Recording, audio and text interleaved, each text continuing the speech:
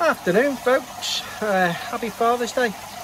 Uh, been a little bit of a, a while since I've, I've done anything, but it's been busy. Just got back from a 10 mile walk with the dogs as well.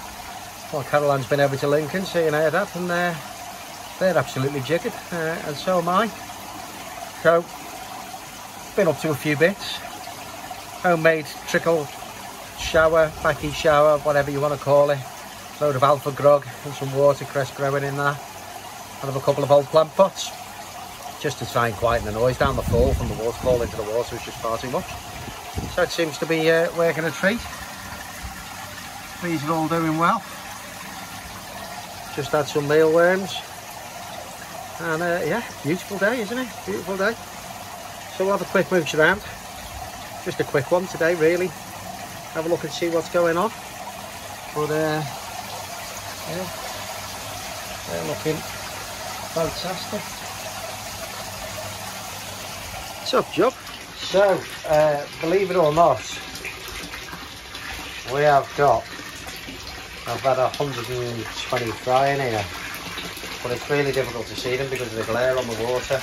Um, but they're doing they're doing quite well now. They're starting to starting to really hit the food The temperatures have just not been anywhere near. So these are probably between three and five cm most of these.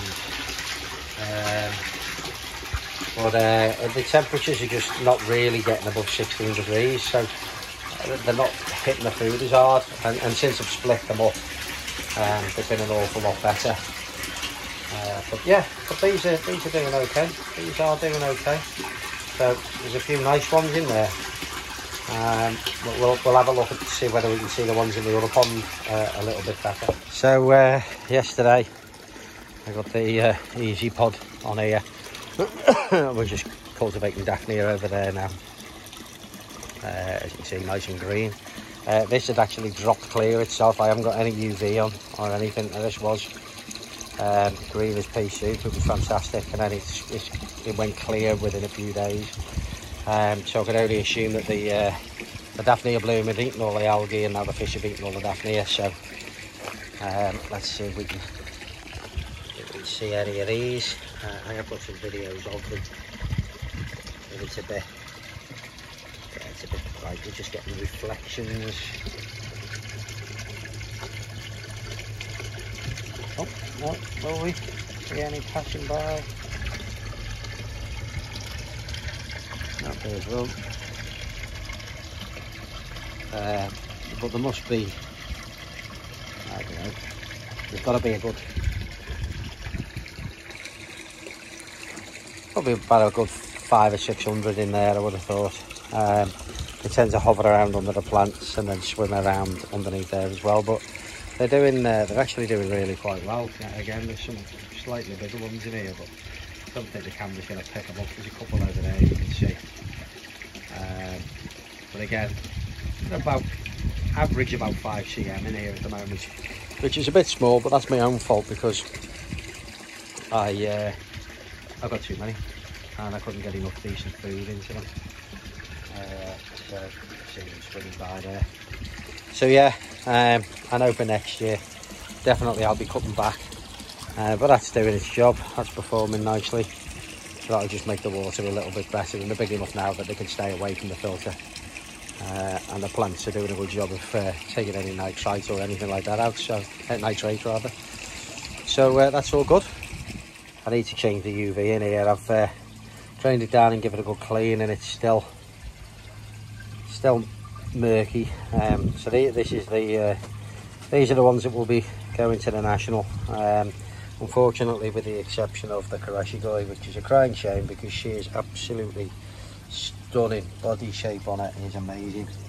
Um, but she does have koi pox. Um, and for as much as it's not a, a massive amount and, and you can show with koi pox I've chosen not to. So there's only four uh, four will be going to the show this season uh, and then we'll see how we see how we go for next year they're doing well uh, obviously separated out so I can manage to feed a bit better but again water temperatures just been awful. So uh, So they've, they've not put a load of size on or anything. So we just start to condition them off over the next two weeks.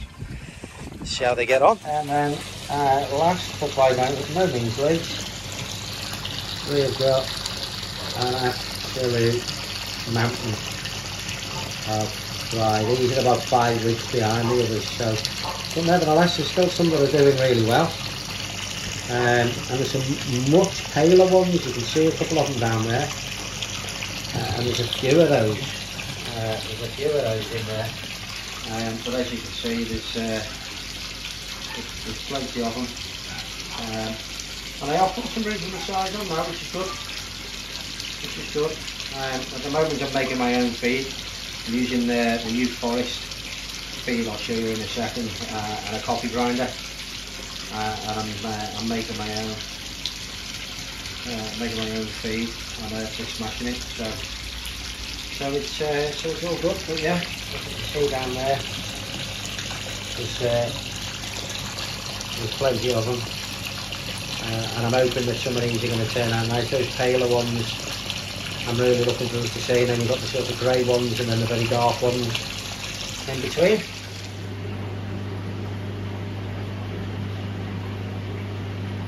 the second batch of fry. Just doing a filter clean. Putting the food on.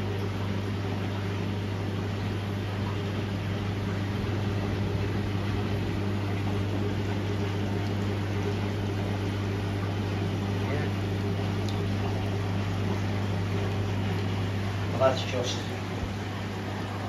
that corner. So yeah, just a few, just a few. So yeah, on the whole, it's not doing too badly. So I'm gonna wait for the missus to get back, sit in the sun, probably have a cider or two, and enjoy it. Sit and watch these guys buzzing past the window.